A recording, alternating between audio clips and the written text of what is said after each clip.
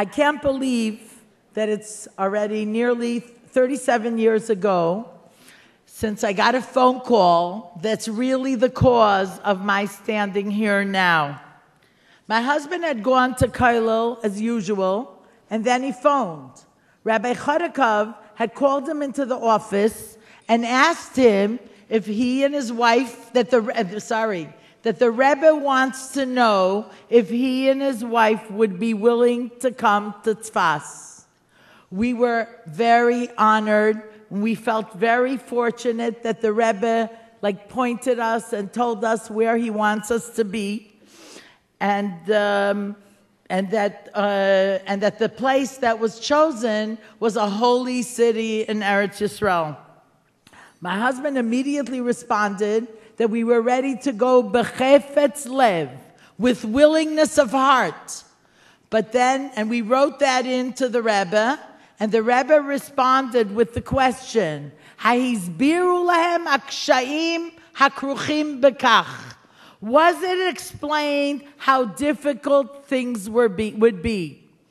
Rabbi Chodakov proceeded to explain to my husband that the, of the, about the challenges of building a Chabad center similar to Kfar Chabad. And of course, we wrote back to the Rebbe that even that the difficulties were explained, and of course, we were still very willing to go. Rabbi Chodakov told us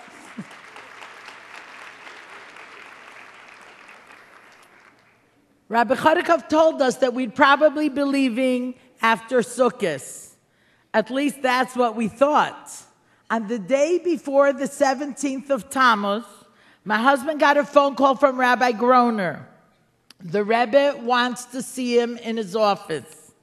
My husband rushed to 770 and waited in what Hasidim called the Gan Eden Hatachton, the antechamber to the Rebbe's room, where one would wait to have an audience with the Rebbe. Rabbi Groner told my husband, Don't wait. The Rebbe called for you. Knock at the door and enter. Tremulous with awe, my husband knocked at the Rebbe's door and entered the Rebbe's room.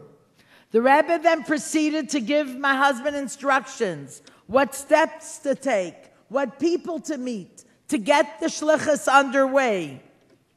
And since it was the last day before the three weeks, the Rebbe told, and it's not a time that one usually undertakes journeys. The Rebbe told my husband that he should start packing today by taking his talis and tefillin, which is the first thing that a Jew packs, and put it in his suitcase. And even though he would have to take it out to daven the next day, the Rebbe said it would be considered that he began his journey. To make a short story even shorter, two weeks later, Rosh Chodesh my husband was already in Eretz Yisrael. And as, as the, according to the Rebbe's instructions, that my husband should come first and I should follow, nine days later, on Tisha B'Av, I landed in Eretz Yisrael with my son Mendele.